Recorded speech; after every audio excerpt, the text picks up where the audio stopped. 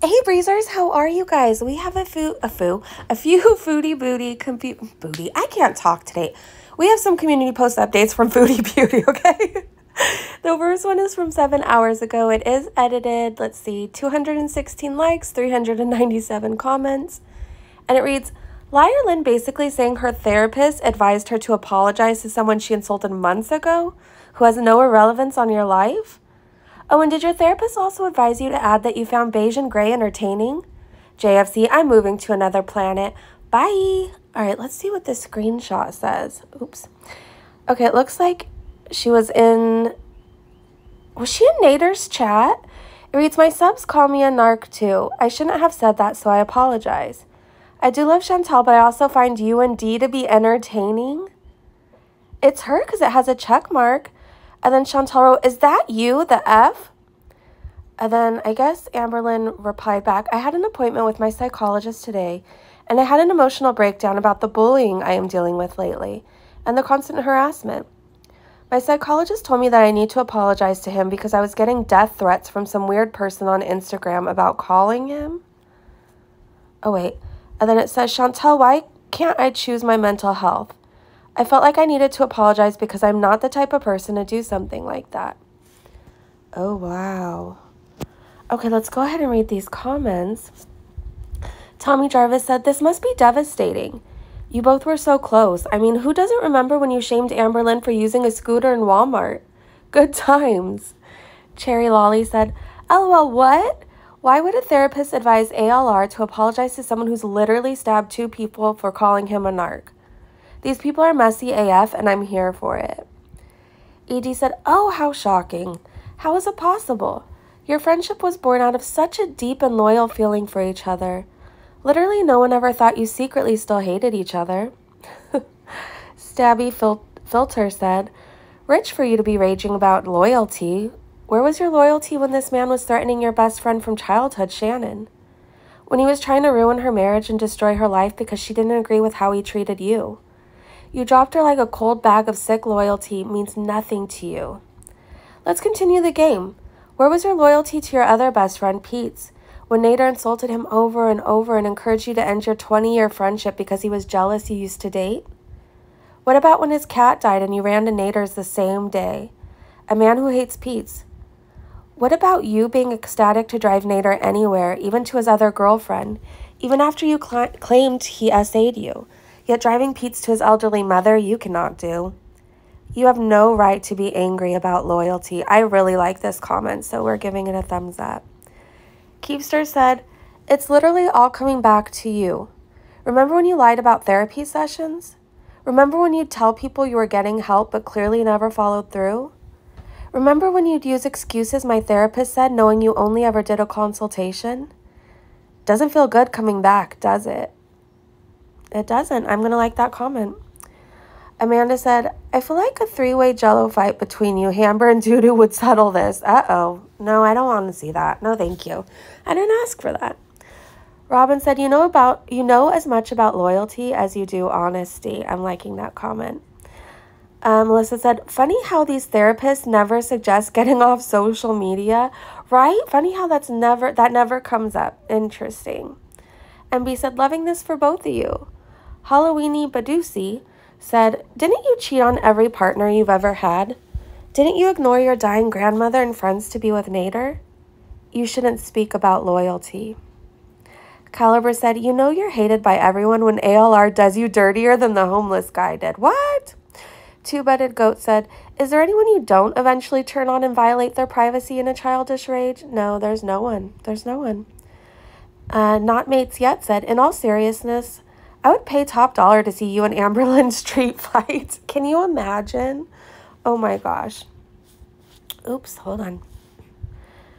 Uh, retired from Reborn Artistry said, You're not the type of person to call someone a narc, right? You're the type of person who supports a, an artist.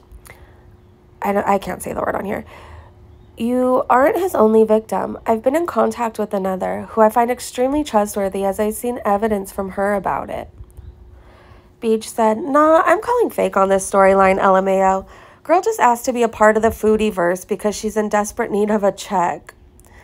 Uh, Wolfsong said Chantel found a good way to keep people from saying negative things about her. Freya said, Good to see someone who is actually seeing a therapist and getting help. True. Flop Bear said, The Amberlynn rivalry arc we didn't know we needed. Soph said, You are the company you keep, Chantel. So true. I'm liking that comment. Carmen said, Don't worry, Chantal and Dee Dee. Ain't no way she's flying from Kentucky to take your man. uh, Chantal and Dee Dee, I think you're safe.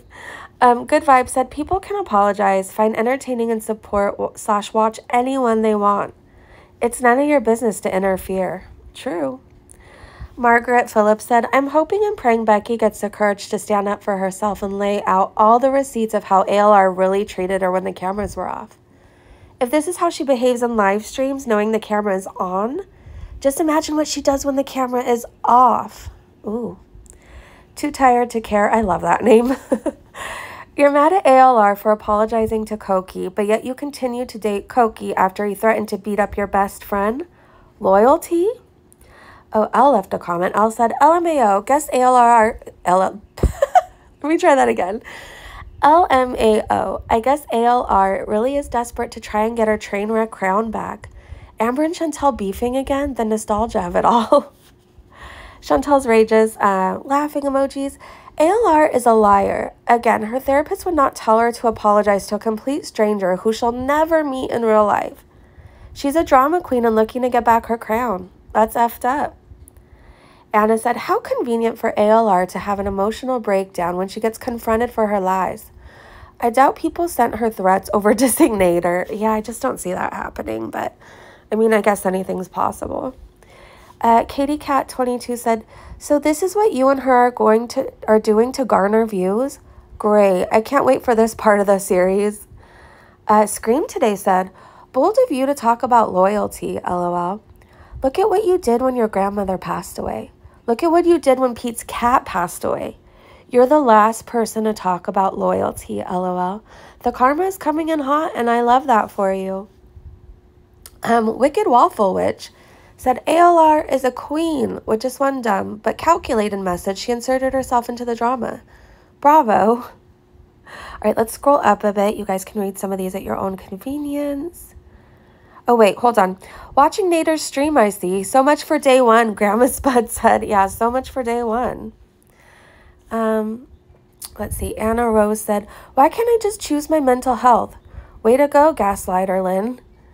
Skinny Minnie said, Amberlynn inserting herself into something like this is so ignorant. She needs to keep to her ice tray hauls. Okay, scrolling up a little bit more. No one said 38 years of age, don't always act like a child when you get hurt. Friendly advice. Jules Baby Rock said, OMFG, this is absolutely hilarious. It's unbelievable to me. Like, is this real? is this real life? Okay, scrolling up a bit some more so you guys can read some of these comments. Go ahead and pause. We got to get to the other community posts. So let me scroll up a bit more. I want to make sure you can read them. Okay. A worm sheriff is unblocked? They said ALR running to emotional support cup a noodle. Oh no. Uh, Chicken Squib said, You're not wrong. This is definitely not good or sound clinical advice. The problem sometimes is people use good counsel as a weapon. However, this isn't going to win you brownie points. People are still mad at your behavior. Okay, let's go to the next community post. Uh, 22 minutes ago, still no Wi Fi. Ugh. Anyways, watching a marmot lick a man. I'll go live in a bit, EXO. She shared a video. It looks like hiker seeing a marmot approaching him and freezes. He will never forget what happens. Okay, well, we don't really need to read the comments on that. It looks adorable. What on earth did we just scroll up to? Okay, five minutes ago, she posted, I'm so over being judged by these types of people. These weirdos are obsessed. Ew, go away, F. Brides of Frankenstein's. Rude. Did she take off Dee Dee's nose? What is that supposed to be? All right, let's go ahead and read a few of these comments. Dingle Donger said, So why is it okay for you to diss how people look? But the minute someone does it to you, you rage and screech like an actual animal. Make it make sense. Cook said, You're not one that should be talking about looks, Sasquatch.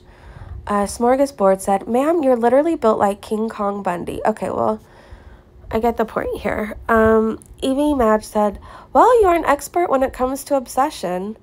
Bunny Angel said, So going after people's looks and calling them weirdos, really, Chantel? Do you own a mirror and have you seen yourself? Stop being so rude and childish. Suzanne said, And you? You definitely resemble an actual monster. Uh, Elizabeth Bennett said, So it all comes down to looks. If someone is conveniently attractive in your eyes, then they can judge you? Such weird logic. You lose both ways, Chantal. You are ugly on the outside, but even more importantly, you are ugly on the inside. Uh, Jeanette said, Do you own a full length mirror? You're in no place to judge others on how they look. Uh, Hanny asked, What collage app did you use for this? All right, gonna scroll up so you guys can pause and read some of these at your own convenience. The colorful gecko said, Oh, they're obsessed with you, not the other way around? Right. Um, okay. Rosewater said, Buy a mirror.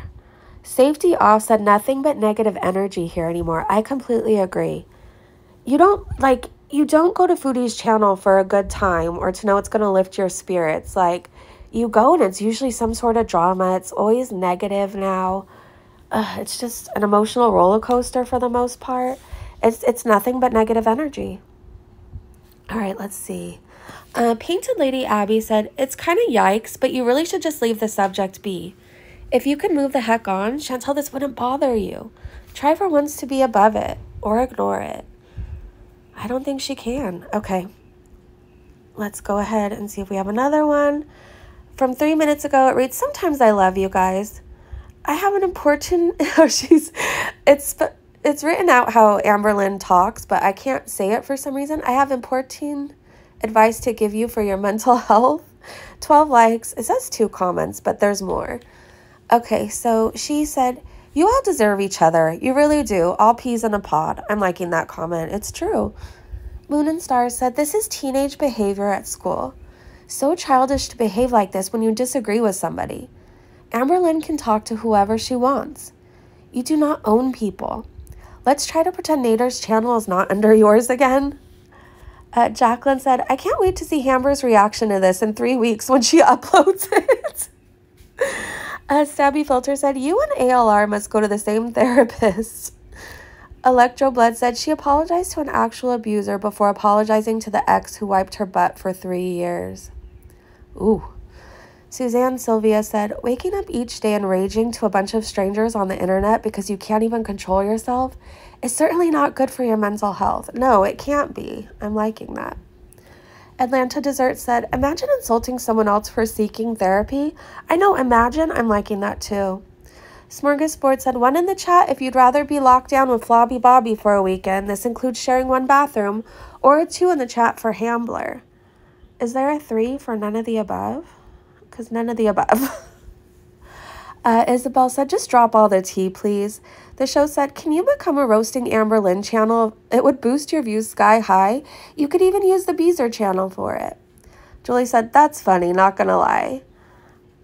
Uh, Skippy said, bullying. Is that you said bullying? I can't say it.